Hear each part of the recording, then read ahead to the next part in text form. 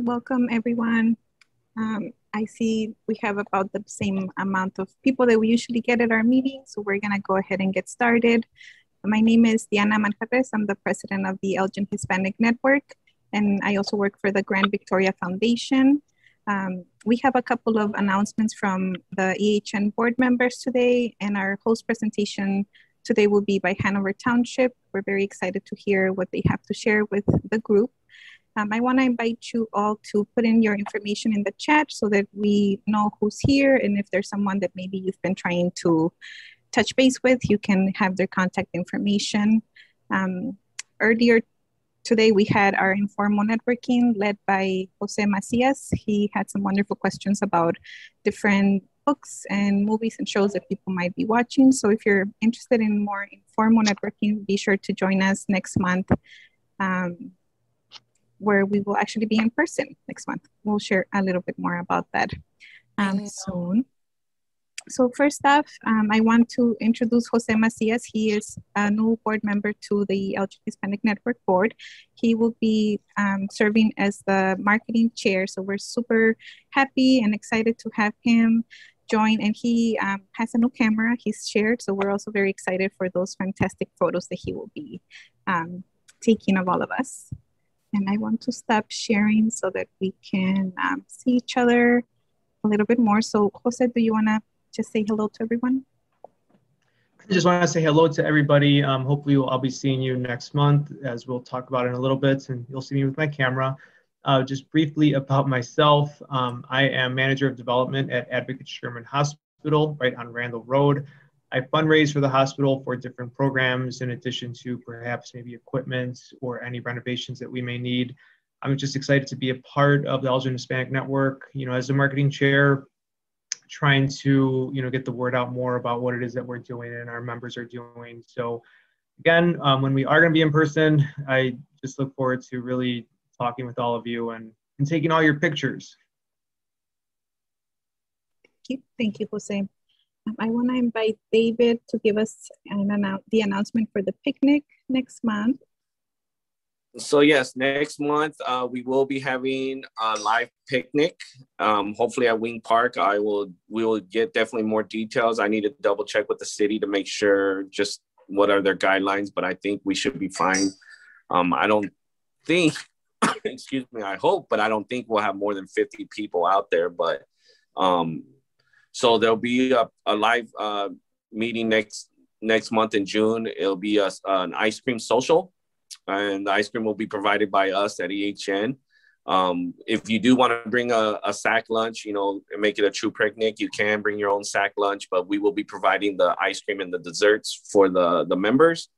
And then hopefully, excuse me, we're hoping to meet with also the uh, scholarship recipients as well. So we're hoping they'll be in attendance too. And then that way, traditionally, we can all give them uh, college tips.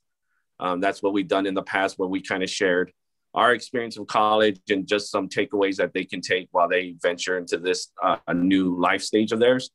Um, and saying that, traditionally, we also provide them with a survival kit, like a survival laundry basket of goodies and stuff so we can send them off with you know detergent ramen noodles popcorn you know notebooks pens all the whole shebang. Um, because of everything and covid i know normally we have like a supply drive but since times are kind of unique we're asking if if you can donate uh, funds. So i think we're going to have i believe a link or something set up where you can donate online. But if you know a board member and you know where uh, that board member he or she may be working or reach out to them and they can meet up with you. And if you want to do a monetary donation that's um, that's all we're asking for. And again totally optional. It's nothing mandatory from the members. Again anything you guys can give is much appreciated whether it's a dollar $20 or a $100 again um, whatever you can do. And then the board will shop we'll get the baskets all filled up and then we'll be able to present the baskets at the at the event. So we'll send some reminders about that. So this year won't be a school supply supply drive, but we are still looking to raise at least funds to buy the school supplies for the students. Um, I think that's it, unless anyone else want, or Linda, if you need that or anything. But David, if you go onto the EHN site, can we make a donation there and put? Is there a place we can put like school supplies or? Yeah, Absolutely. So okay. that's what we're working on. I don't know, Diana, if we set that up yet, um, but we did talk about that at our last board meeting that we did want to put something on our site. Hopefully, there yeah, it might be already set up. I'm not sure. Yeah, um, but we'll is, definitely get the words. The okay. donate button is available. We do want to have an ex, um, a page with, that just describes a little bit more the purpose of the donation, but you can go ahead and donate through the donate button and just say that it's for the scholarship recipients. And the date of the picnic will be June 23rd and we'll meet at noon. Like okay, yeah, June 23rd. Um, yeah, like I said, more detail to come. Probably gonna be Wing Park, but um, saying that also, um, if we can have the funds by, I would say June 15th, if you can get us any donations by June 15th, again, much appreciated. Um, I know our our uh, members always step up to this and I think this is very important for our students, our scholarship winners to go go into their first day of college, you know, with a nice care package, a survival, we call them survival package, you know, survival kits. So, all right. Thank you guys. Thank you, David. Um, any other questions about that event? All right, thank you. Um, we are still looking for one more board member. Um, the finance chair position is open. If you know of anyone who would be interested in uh, joining EHN and being more um, engaged with us in that way, please send them my way or they can also reach out to any of the board members. And I would like to introduce to you guys Mike from Hanover Township. Uh, Mike, you should be able to share your uh, presentation.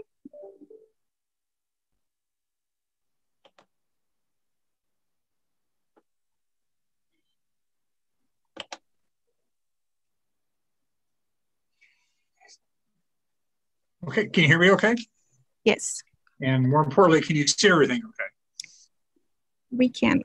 Okay, good deal. Well, it's a pleasure to be able to talk to everyone today. And uh, we're going to tell a little bit about the emergency services for Hanover Township. And uh, I've been with the organization for roughly 18 months.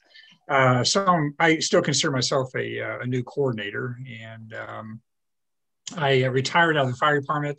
I worked 28 years in the city of Taylorville, which is down by Springfield and Decatur as a bedroom community, and uh, everyone went uh, northeast and northwest uh, to work in Springfield and a lot of blue collar jobs that were in Decatur. But uh, so after I retired, I was uh, looking around and um, uh, and uh, came across this position here. I'd, I'd, heard about Hanover Township for quite some time uh, before I applied for the job, and uh, you know, and, and, we have a uh, kind of a closed circuit of folks that uh, that um, are in emergency management, and I'd always heard of Hanover Township, and I was very pleasantly surprised after I applied and uh, went through all that process. And it's just a fantastic organization.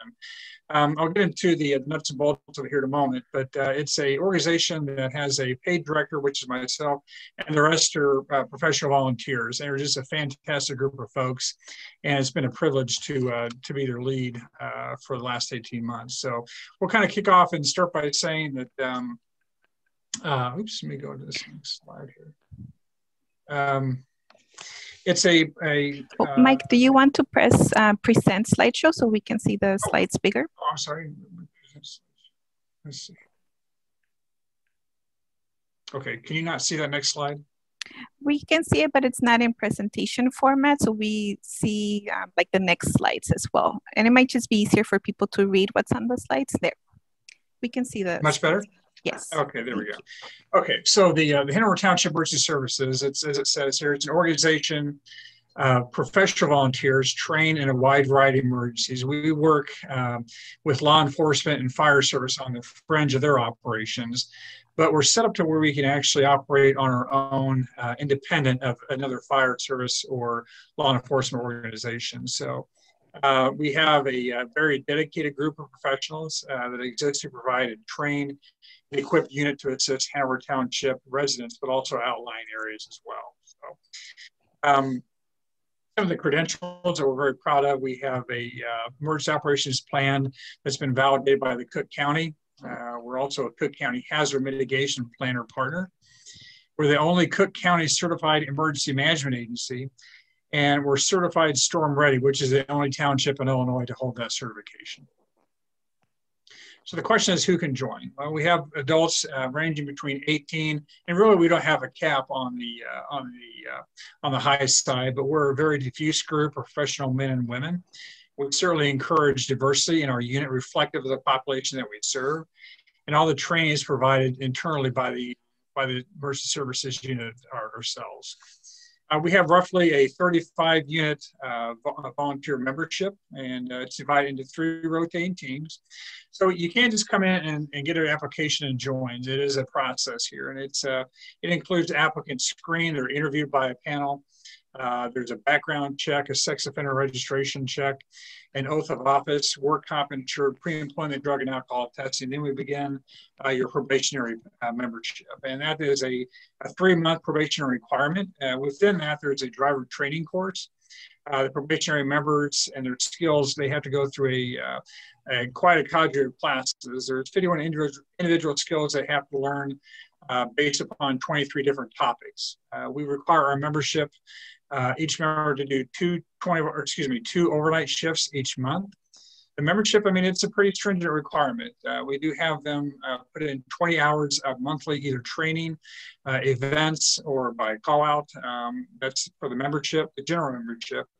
Uh, the officers have to have 30 hours uh, on their uh, their regimen of training otherwise. And we require members to do 50% of the training requirements. And if they can't meet that, uh, we try and help them out uh, and try and work around their lifestyle to see exactly where they're falling short. Uh, if they fall within, uh, if they fall short within two uh, two months, uh, then they receive an administrative letter from myself expressing our, our concerns. And after the three month time period, they're still not able to meet our requirements, so we can either go on leave of absence or they'll have to be discharged from the.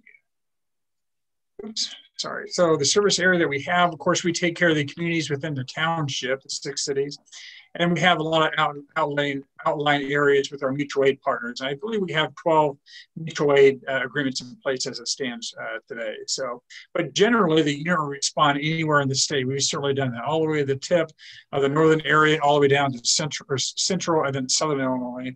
Uh, we've ran uh, responses in those areas as well. So we're certainly uh, have a very, a very wide service area that we, that we run on. The organizational structure for the unit, we have you know, myself as the director. Uh, underneath myself, I have the operations captain who has three lieutenants under his command. Each lieutenant then is assigned a sergeant, and then underneath the sergeants are the general membership. And uh, part of that is uh, we have different team leads uh, that, that take the, uh, the positions of training, mission support, vehicle readiness, search and rescue, and other specific specified uh, programs such as the drone program. So it works out very well for our, uh, our overall organizational structure. Again, our excuse me, we do have quite a few requirements that these folks have to meet. Uh, we're actually dispatched through DU-COMM, which is the primary uh, dispatch center, the uh, primary 911 dispatch center. We uh, so that's how we're uh, we're uh, typically dispatched. We also have weekly, excuse me, required weekly drills. Those are conducted on Wednesday evening at seven o'clock. There's ample independent study groups uh, that we put together, and uh, some are required required training. But we really embrace uh, incident management, and uh, that's something that uh, uh, follows suit with the law enforcement partners and also our fire service partners that we have. And of course, all the membership is required to wear their PPE when they're on responses as well, either on traffic or fire scenes. Uh, we have a very robust uh, ground search and rescue group. Uh, we're validated through the Illinois Ground Search and Rescue Council. We have 17 members currently certified to do search and rescue anywhere in the state within a 24 hour seven response. Traffic management, I would say, is probably our bread and butter. Uh, we're certified in traffic incident management systems. We establish traffic control points. We have traffic control PPE that our folks are uh, required to wear. And we support local agencies with access control to impact areas. That's typically through law enforcement or fire service entities. Emergency lighting is, something certainly we provide as well, uh, very routinely. Uh, the emergency services fleet includes three lighting trucks with stationary and portable scene lighting. And this is very important for our fire service organizations that we serve. And uh, what that does and what that uh, allows them to do is, is uh, illuminate their scenes immediately and automatically. It ensures a rapid fire attack and to simulate, if you will, daytime conditions after we light these these uh, different areas up. Uh, reduces tripping hazards and ensures all sides of the building are illuminated. And illuminating uh, provides for a much, much safer uh, fire ground. And that's certainly something that we do uh, very routinely with our different and uh, crime scenes, et cetera, police departments as well. Uh, we have additional response vehicles other than the 11 that we have for normal response. We have two bicycles uh, to assist us with patrols and events. We have an off-road vehicle that has a fire pump. In fact, we'll be exercising the fire pump tonight for training with some uh, live burn evolutions that we're performing. Uh, we recently took delivery of a decontamination unit, and this is a uh, statewide asset that we have. We also have an air cascade unit we hope to be delivered uh, in June.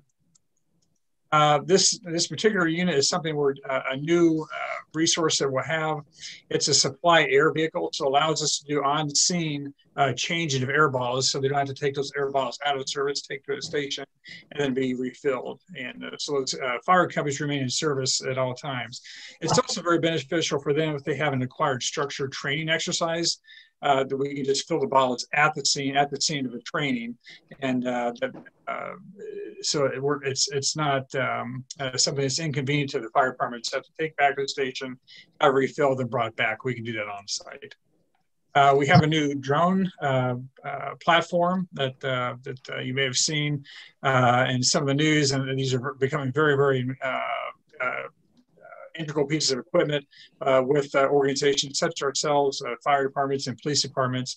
Um, they're a very important tool for us to have. In fact, we just used our drone a couple of weeks ago in South Barrington. They had a very large mulch fire, and that fire has occurred on many acres, and it's important for us to be able to locate, identify different hot spots where the fire departments have become very useful. Uh, we also use it and uh, deploy with it on our search and rescue uh, search and rescues that we have also. Fire decontamination, we have a model that we you come into work uh, clean, you go home clean, and they identified 12 different cancers at the link uh, uh, firefighter deaths and off off the duty injuries, and it's very important for us to try and reduce off gassing and, and try and get these carcinogens away from these members until they go back to the station. So the idea is to give them a wash down at the scene to not uh, expose other members of their uh, department prior to going back into a, a clean fire truck, which in, in, turn goes back to a clean station. So uh, you can kind of get a picture of what this looks like here uh, with one of our decons, uh, but it reduces uh, particulars, uh, the, the fly off the gear, but also keeps the, uh, the gear very clean operationally. So it's important for us to do a relatively uh, thorough uh, brush down, but not get the uh, inner uh, inner core of the gear wet. And uh, we've really become experts at doing that. So we, we rely on, uh, or other departments rely on that. Roughly 15, 11, excuse me, 11 fire departments we're working with now to provide their firefighter decontamination. Um, we also have the large diameter hose roller. what you see here is a hose that typically connects between a hydrant and an engine. And when this hose is charged with water, it's especially heavy. And uh, you can see it weighs roughly 944 pounds per 100 feet. And when the fire scenes are over, this is when the hose has to be rolled up. So uh, with this new machine, uh, we're able to do that with a battery uh, battery pack uh, that's attached to it. And after a fire scene, these firemen are obviously very, uh, very worn out. They have tired bodies. So we're able to come in and roll the hose for them, take it to their truck, reduces the likelihood of any kind of back injuries from having to load this back onto a truck truck. So it uh, becomes a very useful tool uh, for fire departments to use as piece of the question is, what does the future hold? Well, we, we do have an increase in call volumes. Uh, prior to COVID, uh, we had 250 calls in 2019. The calls were somewhat reduced because of the lack of uh, events that we went on uh, this year. But we're, we're, a very busy department. We expect to, to hit somewhere between 250 to 300 calls in the next calendar year. Uh, we have increased meaningful work for our members. Uh, we have a new facility uh, that we've have uh, grant support, and we've started to do uh, to do work on already uh, this year. We hope to be in it within the next six to eight months. Um, so this new facility has been very supportive of our, of our very modern operations. we have an improved response time with our career partners, so we are seen as a first response agency. We have several new programs we're implementing. We uh, obviously are uh, hoping to increase the diversity within the membership reflective of the township demographics. Uh, so the question you may have is, how do you join? Uh, probably the best way to join is to go to the Hanover Township website and fill out an application. And it'll come directly to me.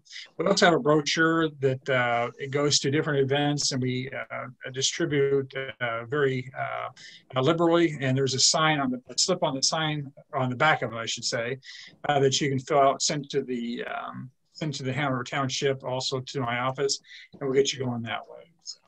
Uh, with that, I'll happily answer any questions the group may have regarding the Hanover Township Emergency Services. And this last slide kind of gives you an idea what the uh, the fleet of vehicles that we have. This is again not fully encompasses all the vehicles we have. We have 11 in total, but this is the current station. We'll be uh, moving to a new station again later this year uh, on the uh, township grounds. Happily answer any questions you have. Thank you, Mike. Um, are there any questions for him?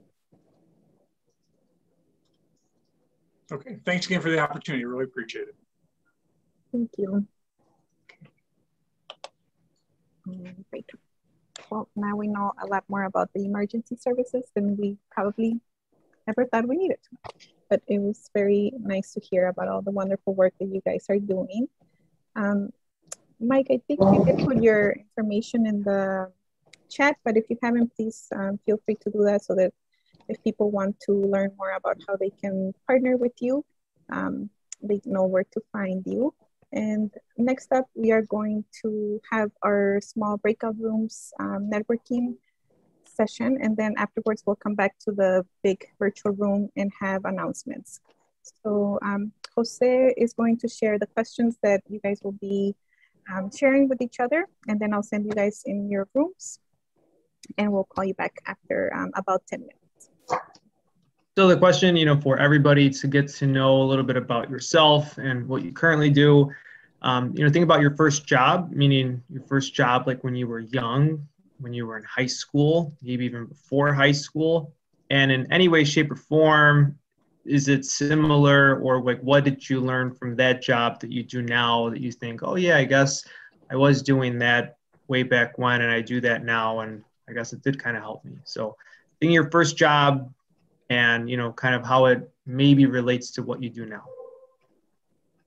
Okay, thank you, Jose. We'll also send it on the chat. The chat will remain in the room. So here we go. Thank you, Jose, for that great um, networking question that got everybody sharing. Um, we are um, going to do announcements now. If anybody has an announcement, uh, feel free to share. I think the best way to do it is for me to call um, people that we were not unmuting and um, competing for the virtual podium. So, um, Jose, I'll call on you first since you're right next to me. No announcements for now. Thank you. Uh, Marlene? No announcements. Jesse Colon? Oh, you're. Yeah, that's fine. Sorry, I had it muted. Um, yes, um, I'm doing my first charity workout um, this Memorial weekend from 8 a.m. to noon at my location, 317 Randall Road, Cross Kicks Fitness. Um, we are doing a thing called the Murph Challenge, which is to commemorate Lieutenant uh, Navy uh, Murphy, that was a big um, fitness fanatic. Um, he passed away in combat, um, and they dedicated a workout to him. So uh, most of the small box gyms, CrossFit gyms, things like that, host this Murph Challenge workout, um, and they donate funds to a local veteran organization, which I'll be doing. Uh, all I'm asking is a simple $5 donation or more. If you guys uh, just decide to come, um, everyone's welcome, members, non-members. Um, and that's from 8 a.m. to noon. We're going to have lots of coaches to be able to coach you through uh, the workout, and um, it's for any skill level, any age level. Uh, we're going to have people as young as 16, 17 doing it, all the way up to our oldest member, which will be 68 years old. So, um, yeah, you come out, have some fun, get some fitness in. It should be pretty sunny weather outside, but most importantly, get back um, to the community. That's what I try to do on a monthly basis with our charity workouts. Thank you, Jesse. Um, Amber? Thank you. Um, our announcement is that we are getting ready to start our summer park neighborhood outreach um, sites. They'll start the second week in June. I have a um, flyer that the Northern Illinois Food Bank is giving out front and back, English, English and Spanish. Um, we'll be in four neighborhoods weekly and we'll be at six pop up places every other week. Um, we have bilingual teachers that will be going in. We have 24 partners that'll be rotating through with like health navigators, um, hopefully on site vaccines, um, dental care for children. Uh, all kinds of stuff. It's on our website if you want to learn more about that. It's every day from 11:30 to 12:30, um, different areas. Thank you, Amber. Um, Evangeline? Hi. Uh, so uh, the representative's office is hosting with um, Senator Cristina Castro a free community shredding event. Uh, they tend to do this annually, sometimes twice annually. Um, it's going to be with the uh, the KCT Credit Union um, and Gail Borden Library on June 12th from 9 a.m. to 12 p.m um, at the Gail Borden Public Library. Uh, so you can come and you can you can shred important documents and stuff like that. Uh, please don't bring plastic bags. Um, so you know you can you can bring them in giant baskets and stuff like that. People come in and we'll help you all with that. Um, and uh, just just let people know that they can you know shred their their sensitive documents safely. Thank you. So it looks like Zoom now will put you at the top of the screen if you raise your hand. So if you have an announcement, please raise your hand and I'll just call on people that way. Oh, well, raise your hand through the Zoom function. All right, so up next is Elena Gardea. Thank you. Um, two things. I want to mention that registration for credit classes are now underway, which is for summer and fall for associate degree certificate um, and courses. And the second thing I want to mention is that registration for English as a second language, GED, and citizenship classes will start um, July 1st. But people can go, uh, anyone who is interested can go online um, for the adult classes and uh, go to elgin.edu adult to start to put themselves on the list to then begin the testing and the rest of the process. Thank you, Elena. Thank you. Up next, uh, Lorena. Hello, everyone. Um, so I have a huge announcement. Um, so maybe some of you uh, have uh, got the, the email this past Monday or maybe saw it on social media, but Greater Elgin Family Care Center changed its name to Greater Family Health. Um, so all of our health centers, we have nine health centers and all of them are now called Greater Family Health. Uh, if you, maybe you weren't or were aware that we have multiple locations and they were all called something different. So it just made it very difficult. And we wanna make sure that uh, just our patients patients know um, that we are still we are still the same the same organization. We are still a federally qualified health center. All the services have remained the same, and um, we do have a new phone number and a new website. So I will put that in the chat um, so that everybody has it. And we're also going to be working through uh, getting some brochures out to the community. But if you if you do need some brochures, just shoot me an email uh, so that I can make sure that you you get some. So that's my announcement. So thank you. Thank you, Lorena and congratulations on the name change. Um, up next, I have Tom Gutenberg. Yes, thank you. Uh, so just two announcements. Uh, the Hanover Township Food Pantry and Astor Avenue in Hanover Park will be distributing free summer lunches, excuse me, uh, for those 18 and younger, Monday through Friday from 8:30 to 1 o'clock. So just come into the food pantry. We're not going to ask any questions. No registration. We'll give out uh, free summer lunches to kids again starting June 7th at the food pantry in Hanover Park. And then our back to school backpack distrib- distribution is underway. Most needed items to be donated include backpacks, spiral notebooks, pencils, markers, flash drives, two pocket folders. We also take gift cards to Kohl's and Target, um, Walmart, any other major retailer that we'll use to get supplies. Donations can be dropped off at any township office, the Izaak Walton Center in Elgin on Jay Street, our main campus in Bartlett, or the food pantry in Hanover Park. Last year, even the, during the pandemic, we gave out about 800 backpacks full of school supplies to kids in need. If you have any questions, just visit our website at hanover-township.org uh, or uh, feel free to reach out to me here in the chat. Thank you. Thank you, Tom. Uh, Gil? All right, thank you. I uh, just wanted to let everybody know that uh, the Coalition for Safe and Healthy Elgin uh, recently launched a podcast uh, where we speak with uh, local uh, community leaders and we talk to them a little bit about not only coalition work, but about what they do and how we all can kind of help each other to reduce underage drinking and, and substance use among minors here in Elgin. So check it out. The title is called Encouraging Conversation and you'll find them on iTunes, uh, Google Podcast, Spotify, and all those others. Uh, I'd love for you all to take a listen. If you like it, uh, give us a rating. If not, uh, let us know that as well. Thank you. Thank you. Um, Dr. Carly Leppin? Yeah, hi. I'm the Director of Outreach at the Place for Children with Autism. we just opened a location in Elgin. So it's 2450 Westfield Drive, right off of Randall Road. Uh, we provide therapy for children ages two to six that have an autism diagnosis. So, really working on getting communication up, social skills, toilet training, school readiness, um, anything these children might need and their families might need. We provide services in English and in Spanish, and we do help low income families be able to access therapy. So, we have a grants department. Uh, we will work with the family. This therapy is so, so important um, for any child diagnosed with autism so if anybody has a family that needs help, I'll put our outreach number in the chat box. But you can go to our website, the place for children with autism.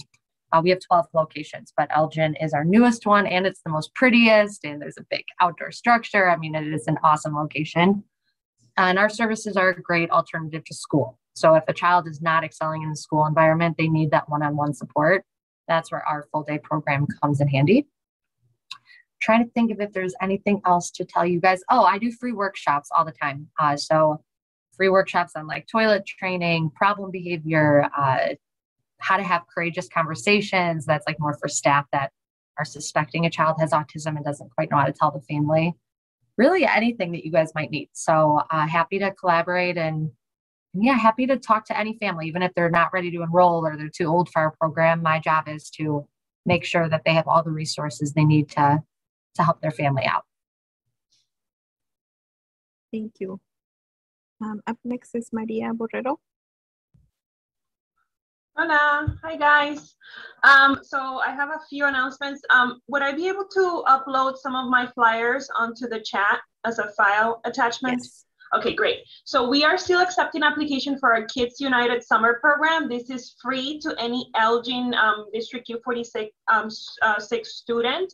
We have available for fourth to sixth grade in the morning, and then for um, seventh to 17 years of age, uh, from four to seven. The program focuses on arts, craft, culinary arts, sports. Um, it's ran by in collaboration with U46. I'm going to attach the flyer for that. Um, applications close on May, May 31st. We also are doing a Spanish landlord training class. This is a very fun class to attend. Um, any anybody who is a landlord or um, and speaks Spanish and would like to know a little bit more about how to work in collaboration with Elgin Police Department just to do crime-free housing, education, how to maintain a, a safe um, properties in the area. We are offering a, a four-hour course for free with our Spanish-speaking officers. Um, and it's just like a great tool to have and, and share with your resources, share it with your with, with the community. So I'm gonna put the information in the flyer um, on the chat, but feel free to reach out to me if you have any other questions. Thank you. Thank you, Maria.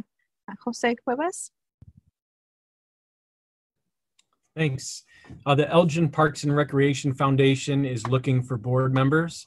Uh, so if you are interested or if you know somebody who's interested, there we're always looking for new board members because we have I know, 10, 12 people and they're constantly turning over every two years or so, I think. So if you know somebody, there there isn't a specific requirement or a specific industry which you need to be a part of. uh, any any person uh, will work. Thanks. Thank you. Is there anyone who has an announcement but can't do the, oh, Carol? Thank you. I appreciate the opportunity to announce that the Elgin Area Leadership Academy is opening registrations for new applicants for the class of 2022. The Elgin Hispanic Network has a number of graduates. I see Jose Messias is in there. Jose. Uh, he was a graduate a few years ago. Uh, obviously, there's a lot of folks who've been involved from not-for-profits. This is a leadership development program, operates on Saturday mornings, usually once a month in October until May of next year. 11 sessions focusing on different topic areas. Go to our chamber website, elginchamber.com, or give me a call at any point in time, 847-741-5660. Glad to talk to you about uh, the Leadership Academy and the benefit that it brings to you as a a business leader, uh, we want to help evolve community leadership as well. So those of you that are working your way through leadership positions, we'd love to have you involved with us. Thank you, Diana. Thank you, Carol. Anyone else who maybe couldn't? Oh, Donna. Go ahead and. Yes, um, on behalf of the um, Elgin Community College Foundation, I'd like to uh, invite everyone to participate in the golf outing, annual golf outing. It's June 21st at the Elgin Country Club, and all of the uh, proceeds benefit um, for student scholarships. So it's an annual event. It's always been very well attended. So we're trying to recover from last year's pandemic, uh, which of course we'll put a spoiler on that.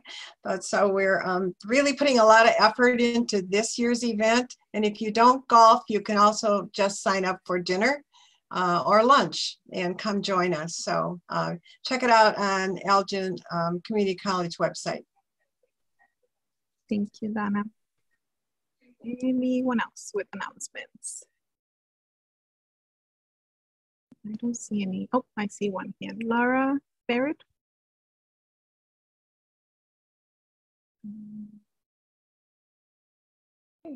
There we go. Finally got the button. Um, I'm Laura Barrett from the Kane County Health Department. And just a reminder, um, you know, we're out doing the COVID vaccine. So if you have not received your vaccine, um, still have vaccines out there to um, obtain. And if there's any in your organizations or any of your clients that you're reaching out with, um, remind them that it is available and we are getting back to doing things, right? I heard so many things today about things that we're getting back to from you know the past 15 months of all the shutdown and you know limited you know face-to-face interactions so the vaccines are definitely helping. They're uh, reaching on out. We know we've got more areas in the county that we can certainly reach into. Um, so if anyone's needing some support or some help with getting connected the canevax.org uh, website is good and um, we can certainly get you help and getting set on up for getting the vaccines done with um, just a reminder to get everybody out there and doing that. Thanks. Thank you. Any other announcements? I think that's it. Um, we are hoping that we get to see some of you next month on June 23rd at noon is when we will have our uh, picnic to celebrate our scholarship recipients. So hopefully you can join us. And I think we are concluded here. If anybody wants to hang out and ask any final questions or make any connections or save things from the chat, feel free to do that. But if not, we will see you next month.